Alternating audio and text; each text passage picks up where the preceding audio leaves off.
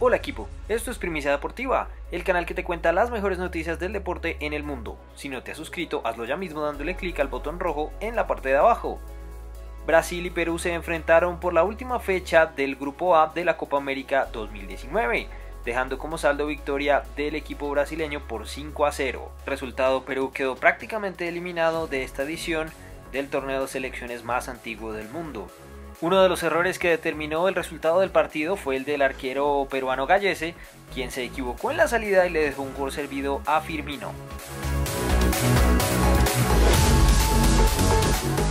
Sin embargo, finalizando el compromiso, el arquero peruano reaccionó y pudo atajar un penalti a Gabriel Jesús que evitó que el partido finalizara 6 a 0.